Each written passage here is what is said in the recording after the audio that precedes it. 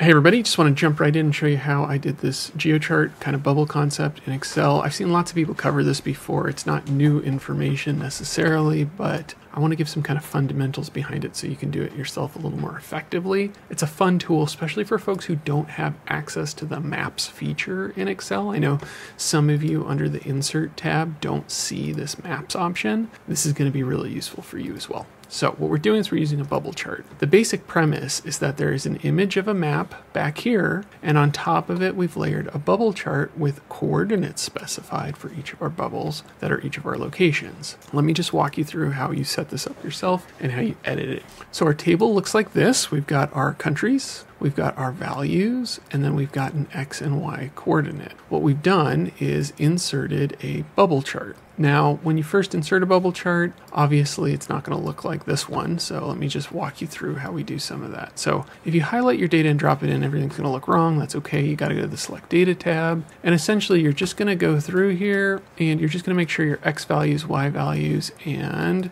your actual value itself, whatever you're trying to plot on the chart, are all in these correct sections, X, Y, and size. Size is whatever your value is that you're putting. That's going to make your chart look a little better. You're going to take out any extra labels, and there's a couple important things we need to do. One, click into your X and Y axis labels. You're going to right click and you're going to see a format option down here, format grid lines or format axis. We want format axis. Now in this menu over here under axis options, we just want to make sure our minimum is set at zero and our maximum is set at 100. And then we want to click into our other axis and do the same thing. We want zero and we want maximum at 100. It's important that you keep this at 0 to 100 because we want to have it normalized so it's easy to set our coordinates later. You'll see what I mean in a sec. We then dropped out the fill and dropped out the border of the chart, dragged it up and resized it on top of an image of a world map. Now you can use any image you want for your world map. I happen to use an Excel GeoChart for it. This is the chart itself over here. This is just a standard GeoChart. I just copied this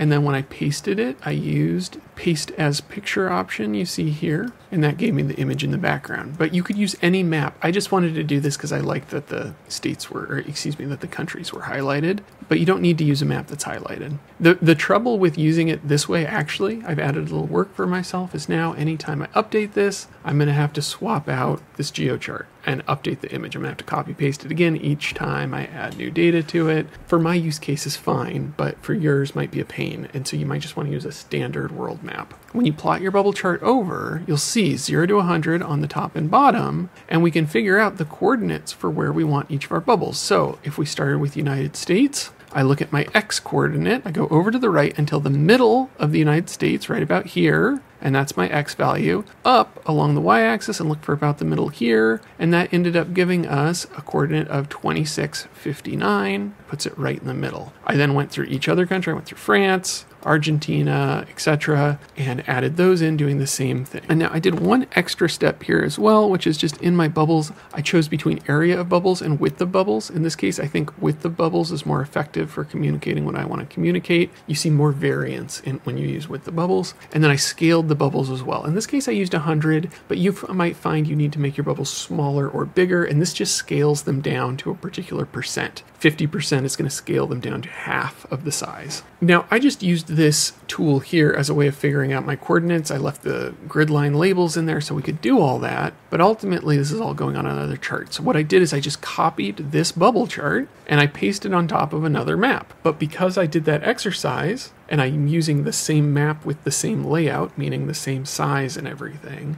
when I drop it in, everything's going to still be in the exact right spot on the bubble chart. All the fancy styling stuff, I think is probably worth you going and checking out on your own as just a fun exercise. But when we look at this, I've done some outlines, I've done dashed outlines, I've added some glow effects under the glow effect option, we've used gradients, as well. Uh, I even clicked into my grid lines in this bubble chart and gave the grid lines just a little bit of a glow effect as well, just for fun. It's about 95% transparent, so it's not a big glow.